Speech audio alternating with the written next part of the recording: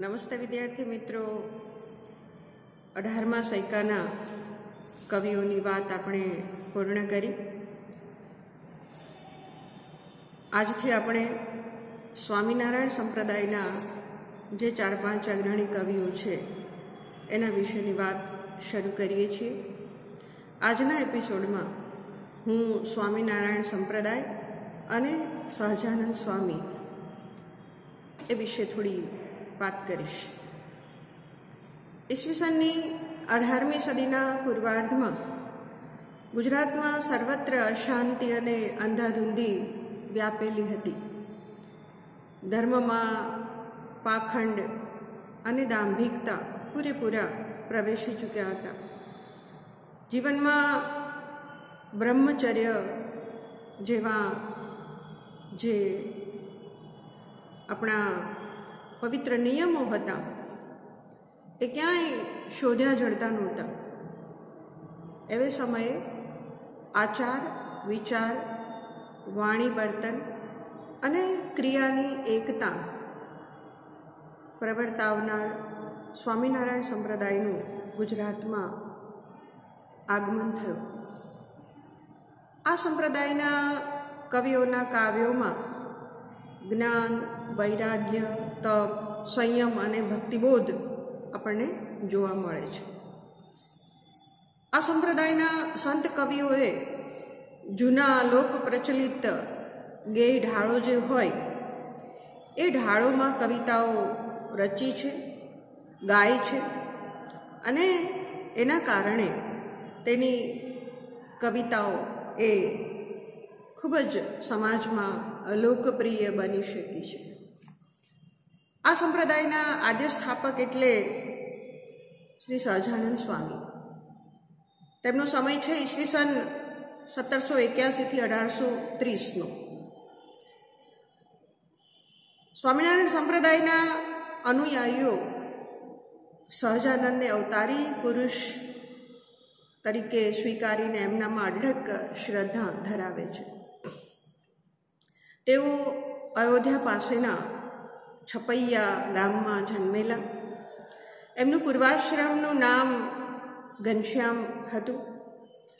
બ્રહ્મચારી તરીકે તેમણે માત્ર બાર વર્ષની ઉંમરે ઘર છોડી દીધેલું અને સાત વર્ષ સુધી સમગ્ર ભારત ખંડમાં પરિભ્રમણ કરી અને ઈસવીસન અઢારસોની આસપાસ એ સૌરાષ્ટ્રમાં આવ્યા.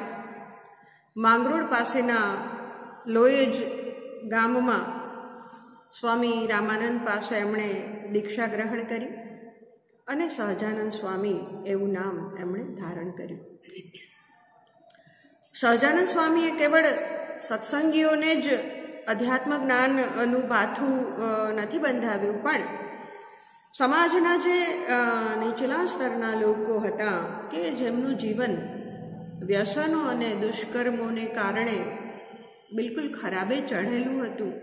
એવા સામાન્ય વર્ગના લોકોને પણ એમણે ધર્મબોધ આપીને, વ્યસનોમાંથી એમને છુટકારો અપાવીને સન્માર્ગે વાળવાનું કામ એમણે કરી અને બહુ મોટી સમાજ સેવા એમણે કરી છે. સૌરાષ્ટ્ર કચ્છ અને ગુજરાતમાં ઠેર ઠેર ફરી મોટા શિખરબંધ મંદિરો એમણે બંધાવ્યા.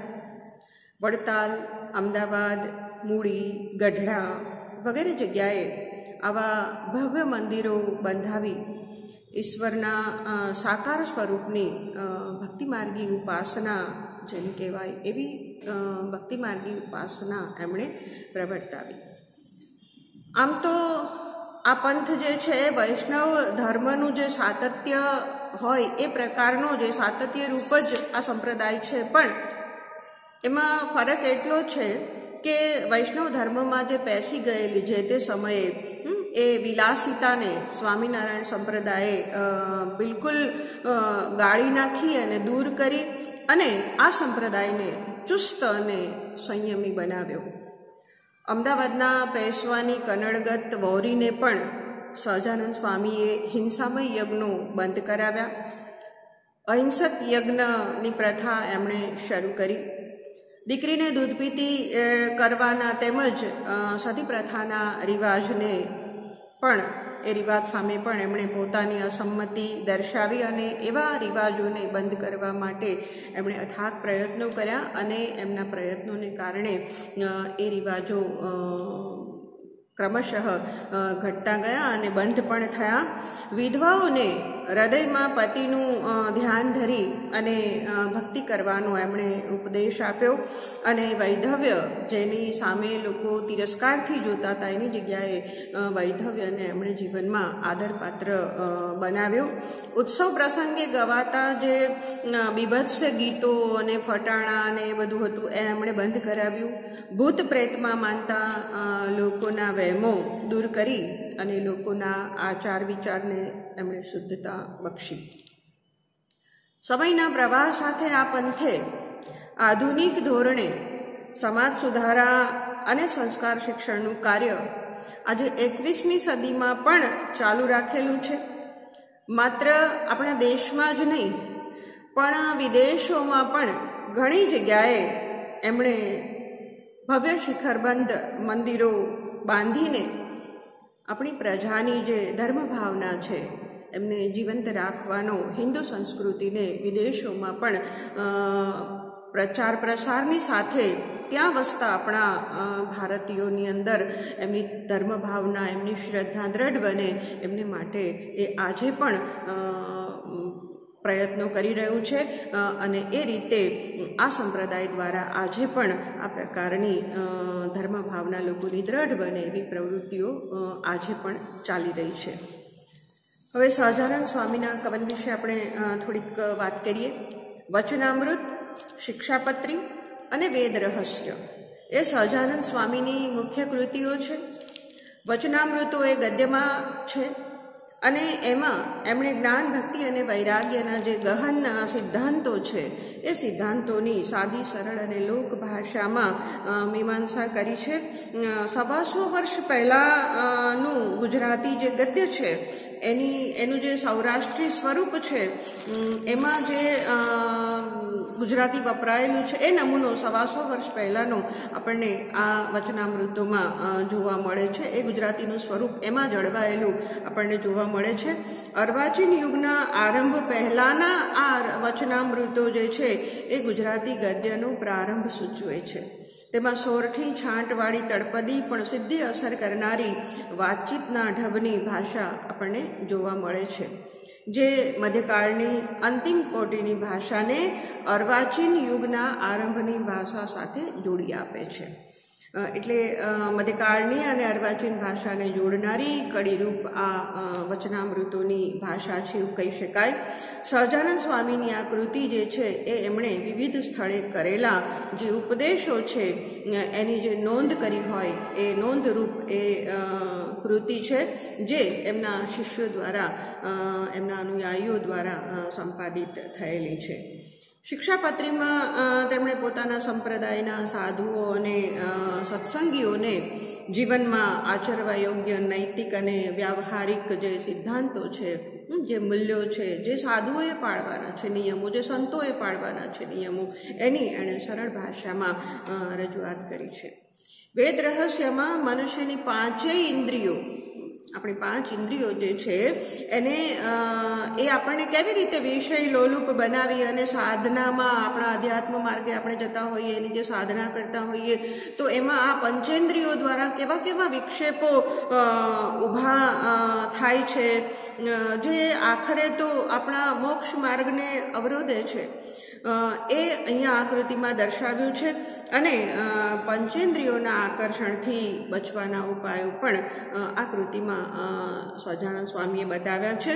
ઊંચા જીવન આદર્શો, આજીવન બ્રહ્મચર્ય, શુદ્ધ સાહિત્ય અને શુદ્ધ ચારિત્ર્ય અને પ્રેમાળ વ્યક્તિત્વ આ બધાને લીધે સહજાનંદ સ્વામીનો જે પ્રભાવ છે, એ જનસમૂહ ઉપર એમના કાર્યો થકી જ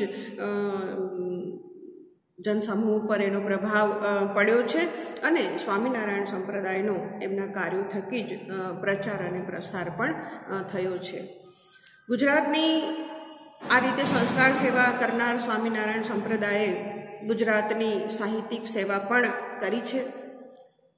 સ્વામી મુક્તાનંદ, સ્વામી નિષ્કુળાનંદ, સ્વામી બ્રહ્માનંદ, પ્રેમ સખી પ્રેમાનંદ, સ્વામી દેવાનંદ વગેરે સંત કવિઓએ હજારો પદો લખ્યા છે.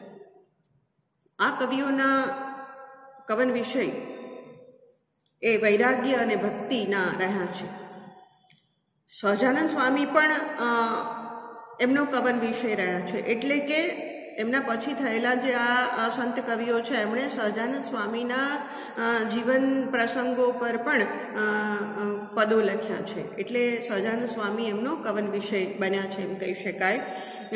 પછીના જે આપણા હવેના એપિસોડ આપણે કરીશું, એની અંદર આપણે સ્વામિનારાયણ સંપ્રદાયના સંત કવિઓ વિશે આપણે જે કંઈ પણ જરૂરી માહિતી હશે લેશું. આજે અત્યારે આપણે સ્વામિનારાયણ સંપ્રદાય અને સ્વામી સહજાનંદના કવન વિશે ટૂંકમાં માહિતી લીધી. ફરી મળીએ. અત્યારે રજા લઉં. આભાર.